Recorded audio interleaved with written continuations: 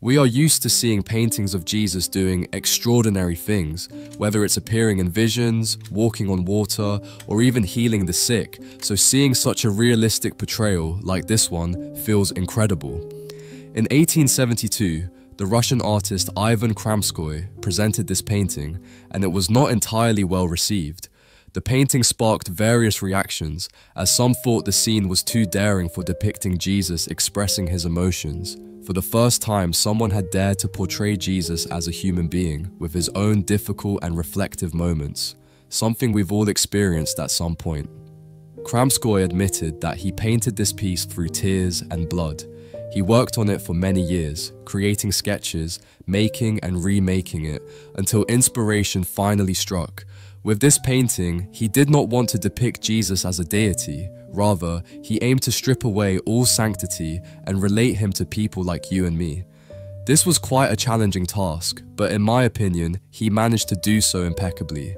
In a landscape of desolate aridity, almost lunar, the figure of the Saviour stands, not majestic and triumphant, but dejected, collapsed, defeated. On the hands and feet of Jesus, wounds and dirt can be seen, the extreme thinness of his face, his sharp features, and his disheveled hair provoke more unease than inner peace. Christ is suffering. Christ is a human being like us, and as such, he doubts. What should he do? Should he continue with his mission, which frightens him so much, or give it up? The figure does not look at us. He sinks his eyes into some distant place, withdrawn, pondering, meditating. It almost feels wrong to gaze upon the painting, as if we were interrupting a moment too intimate, too solemn, too terrifying. That is the message the artwork conveys. Christ was a human being like you. Like you, he was unfortunate, and like you, he suffered and doubted. This painting brings the figure of the Son of God down from the pedestals, there is nothing heroic in this fallen, grey Christ, we could say in completely modern terms, and that was precisely what these artists of the Peredvizhniki wanted to convey.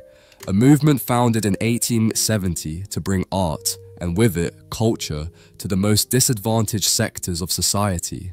The Peredvizhniki movement, also known as the itinerants or the wanderers, emerged in Russia in the late 19th century as a rebellion against the rigid norms of the Imperial Academy of Arts in St. Petersburg. Its aim was to bring art to the people, reflecting everyday life and the social issues faced by Russian society. You, the miserable, are also important. You, the forgotten, are also present in the memory of God, they once said. These artists sought a more accessible and realistic art, far removed from idealized representations. Instead of following traditional currents, they portrayed the harsh reality of peasants, the poor, vagabonds, and the inhospitable nature of Russia. Ivan Kramskoi, as a prominent member of this movement, shared this vision of art committed to truth and human experience. For the Peredvizhniki, painting was meant to be a medium of social reflection, capable of denouncing injustices and showing life as it truly was, without embellishments or idealizations. This philosophy was key for Kramskoi in developing his own approach to representing religious figures, such as Jesus in this painting. During his years as a student at the St. Petersburg Academy of Arts, Kramskoi painted a man reading the Bible. While his professor praised the work, a stranger critiqued it. There is no light. How do I know if this person is not just reading out of boredom? You have painted his face, but not his soul. From that moment, Kramskoi committed himself to capturing the soul in all his works. The painting Christ in the Desert was started in 1867 and Kramskoi took nearly five years to complete this representation of the soul. The scene is inspired by biblical events which recount how, after being baptized, Jesus went to the desert to be tempted for 40 days. In this period of fasting and connection with God, Jesus faced intense spiritual, emotional, and physical battles which Kramskoi sought to convey in the painting. During his time in the desert, the devil tempted Jesus in three ways, offering him to turn stones into bread, tempting him to throw himself from a cliff for the angels to save him, and promising him power over all kingdoms if he bowed to him. Jesus rejected all the temptations, but this artwork allows us to glimpse into his inner struggle during that time of trial. In the composition, the horizon divides the painting into two realities a barren desert filled with sharp stones and the promise of a new day at dawn. At the center, Jesus' hands clenched into fists and his expression reflect the suffering and struggle he is enduring. Kramskoi wanted to depict Jesus not only as the Son of God, but also as a human being facing difficult decisions, just like us. Jesus' bloodied feet emphasize the suffering and exhaustion of this experience. It is clear that the night before the dawn was long and arduous for him. Kramskoi spent over 10 years contemplating how to portray Christ, and the painting also reflects his own meditations on faith. When Kramskoi finally completed the painting in 1872, he declined any form of recognition, including awards and a promotion to academic status offered by the Academy. His only goal was to highlight the figure of Christ. Despite this, he sold the painting to Pavel Tretyakov, a renowned Russian businessman and art collector who considered it one of the most precious pieces in his collection.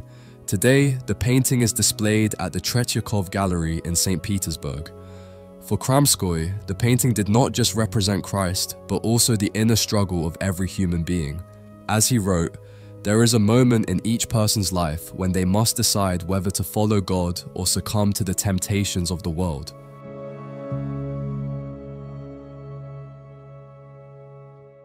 Whether you're religious or not, I'm probably speaking for all of us when I say that this painting is incredibly powerful. For the first time in the world, someone managed to capture Jesus as a real human being, flesh and blood, and not as a superior entity that is impossible to relate to. This made it a painting that many would love, but at the same time many others would hate. I'd love to hear your thoughts on this. Do you think it's okay to represent the figure of God with humanity?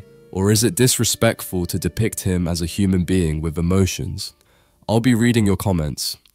If you like this painting and would like to have it in your home, you can purchase it from our website where you'll receive an exact reproduction of the original painting to hang in your space. I also invite you to check out our catalogue where you'll find many other paintings and even phone cases. Shipping is completely free and by purchasing, you'll be supporting the channel so it can continue making videos like this one. I'll leave the link in the description. Thank you for making it to the end. Don't forget to subscribe to continue learning about art every week. See you in the next video.